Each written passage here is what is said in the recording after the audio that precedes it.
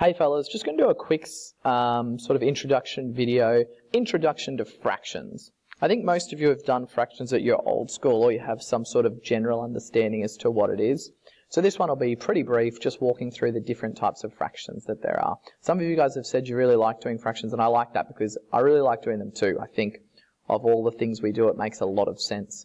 I think the first thing everybody needs to understand that when we talk about a fraction, we're talking about something that was whole, so one whole thing that's been broken down into little parts. So that's all we mean by fractions. If we're talking about fractions, we mean it's a fraction of a whole number. Um, let's look at the three different types first, starting with probably the easiest to understand and probably the one that you've seen the most, which is the common fraction. So Common fractions are things like this. My stylus pen isn't working, so I'm sorry if my handwriting's a bit dodgy. Common fractions look like this.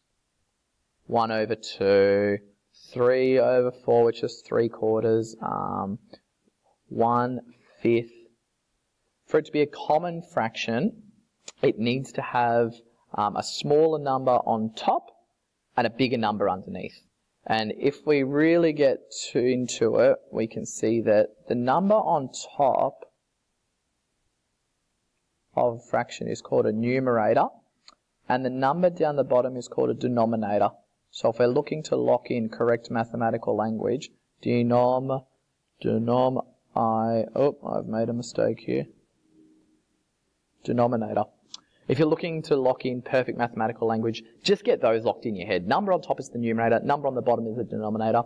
And you've probably seen when we've looked at um, number patterns involving fractions as well, when you add fractions together, let's say I'm doing one half. There was a knock at the door there, so I had to pause it. I hope that worked. Anyway, let's say I'm doing one half plus one half in a fraction, the denominator stays exactly the same. You don't add those numbers on the bottom, you just add the numbers on the top.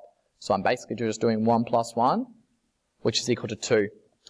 So I've got two twos. Another way to say that is just I've got one whole. So that's as if I've taken one thing, split it in half, and then added those two halves back together to come up with a whole number.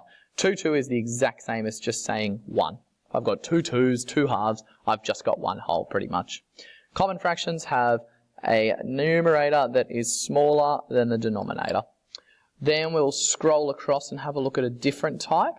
This one is called a mixed numeral. We've also got improper. Let's do mixed numeral first. Actually, no, we're doing proper. I'm sorry about this. improper fractions are when you start to add some things and then the numerator becomes greater than the denominator. So let's look at something like this. Let's say somebody is very nice and they give me half a Mars bar. And I'm another good boy and I get another half a Mars bar. And you know what? Someone doesn't know that they've already given me some Mars bars and I get another half of a Mars bar.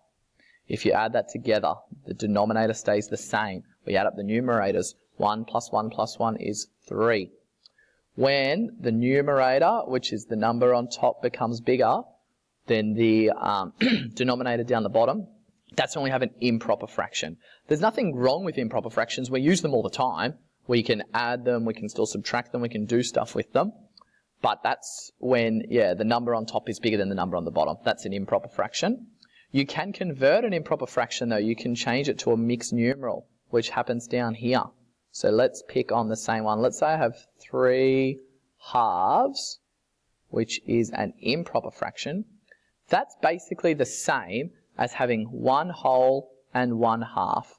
Because if I have, let's say I get a Mars bar, someone cuts it in half, I get half, then I get half, and then of a second Mars bar I also get another half. You can see here, I've got one whole Mars bar, which is my one here, and then I've got an extra half. So mixed numeral incorporates both. It has whole numbers and it has fractions. Another mixed numeral might be, you know, you might have two wholes but 2 fourths. I hope that makes sense. I hope you can see how that works. The third type of fraction is probably one of the more easier ones. We use them all the time in maths, and that's just a decimal. So if I've got something like 0.1, that's a fraction as well. If I've got something such as 0.5, that's a fraction. One thing you need to get pretty good at is converting between decimals and common fractions and improper fractions, but we'll look at that later.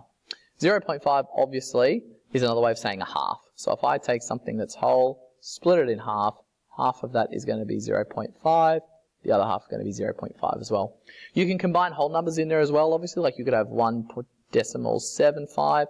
That means you've got whole, one whole, and then 0.75. Anyway, that's just a basic introduction to fractions. If you didn't learn anything new, if you were watching this and thinking, I already know this, I've already done all this, that's good. That's a really good first step. We're going to move into some more complex work.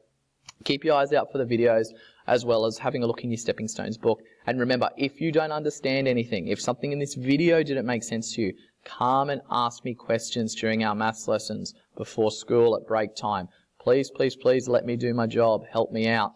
Good stuff. I like fractions. I hope you do as well.